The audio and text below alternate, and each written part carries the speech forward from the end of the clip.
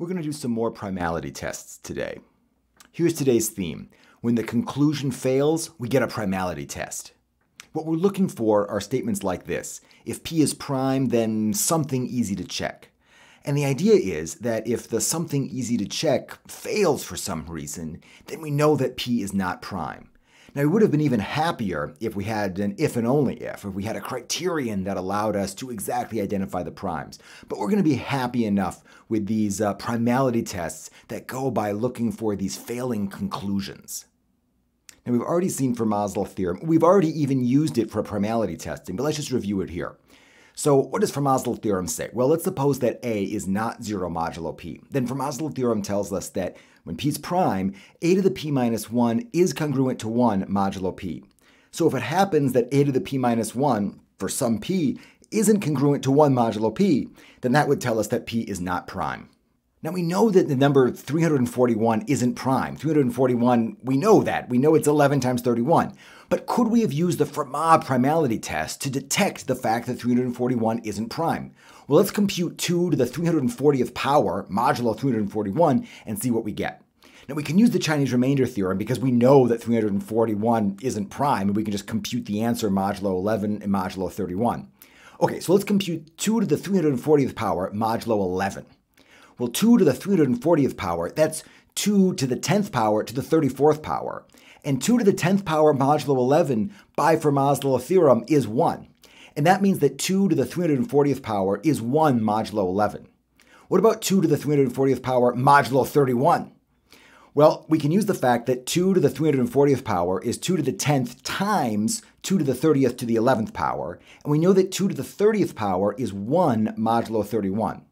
So 2 to the 340th power modulo 31 is exactly the same thing as 2 to the 10th power modulo 31. Now, what's 2 to the 10th mod 31? Uh, we can do this whole calculation without using the infernal computers at all. So 2 to the 10th is 2 to the 6th times 2 to the 4th, and 2 to the 6th is 64, and 64 mod 31 is 2. So 2 to the 10th is 2 times 16, but 2 times 16 is 32. 32 is 1 mod 31. So 2 to the 340th power is congruent to 1 modulo 341. And what that means is that the Fermat primality test wouldn't have detected the fact that 341 is composite if we use base 2. Now, we could try this with other bases, but what we'd really like is a more robust primality test. So here's that more robust primality test.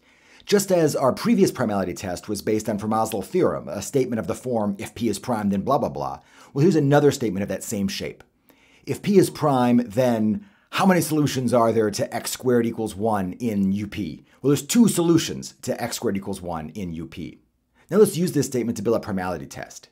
So p is the number that we're trying to test. We might as well suppose that p is bigger than 2 and odd because uh, you know if it's a large even number, we're pretty sure it's composite. So p is bigger than 2 and it's odd. That means that p minus 1 is even, so we can write p minus 1 as some power of 2, 2 to the s, times d, the odd part of p minus 1. Now if p is prime, then a to the p minus 1, that's a to the 2 to the s times d, that must be 1 modulo p. That's just what Fermat's little theorem tells us. Now let's do a little bit of algebraic manipulation a to the 2 to the s minus 1d, all of that squared, that's exactly the same thing as a to the 2 to the sd. That's a to the p minus 1. That's 1 by Fermat's little theorem.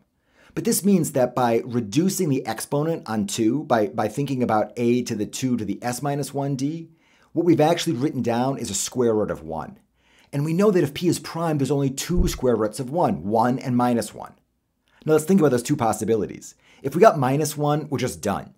But if we got a 1, then we can note that a to the 2 to the s minus 1d, that's the same shape as a to the 2 to the s times d. So we can repeat this process. Now if a to the 2 to the s minus 1 times d, if that's 1, then we can reduce the power on the 2. We can think about a to the 2 to the s minus 2 times d. That number squares to 1, and consequently, if p is prime, the only square roots are plus or minus 1, so that means the only possibilities for a to the 2 to the s minus 2 times d is either 1 or minus 1. Now if we get minus 1, we're just done. But if a to the 2 to the s minus 2 times d is 1, then we can repeat the process again. Now we can't repeat this process indefinitely. Eventually we run out of 2's. But what happens at the end? Well, we might end by finding that a to the d is congruent to 1 modulo p. That's a situation where we just ran out of 2's. Or, as we keep finding these square roots of 1, we'll eventually land on minus 1. So we'll find an r, r between 0 and s minus 1 inclusive. We'll find this r so that a to the 2 to the r times d is congruent to minus 1 mod p. Now, how are we using this as a primality test? Well, if p is prime, then those things happen. So if those things don't happen, then P must not be prime. And in fact, what we will have uncovered is another solution to x squared equals 1 in UP. We weren't able to check that 341 was composite by using the Fermat primality test. It just happens that 2 to the 340th power is 1 mod 341. But let's see if we can use this more refined test to verify that 341 is composite. So we first want to find the odd part of 340. So 340 is 4 times 85. And we use the same base, a equals 2. Now 2 to the 4 times 85, 2 to the 340th power, that, that is 1.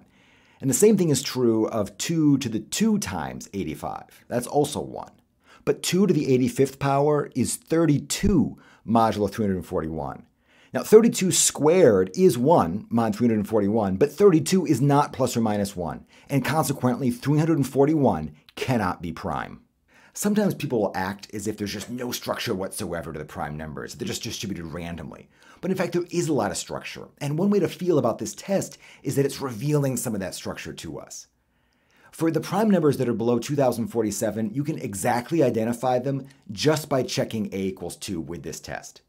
If you use a equals 2 and a equals 3, then you can identify all the prime numbers up to 1,373,653. If you just use 2, 3, and 5, you can identify all the prime numbers up to 25,326,001. And if you use 2, 3, 5, 7, and 11, you can identify all the prime numbers exactly up to 2,152,302,898,747. Now, it would be nice if there was some slick proof of these facts. These are just experimentally observed facts, but it's useful. I mean, if you're ever stuck on a desert island and you need to know the primality of some number, you don't have to bring some enormous table with you. All you need to do is perform this check for some relatively small choices of A. So here you are, you're on this deserted island, and it's vitally important for your survival that you determine whether or not 2 to the 30th plus 3 is prime. You've got nothing with you, no calculators, nothing to help you except for your wits and the memory that it's enough to check a equals 2, 3, 5, 7, and 11. And if a number passes the test for those bases, then it's prime.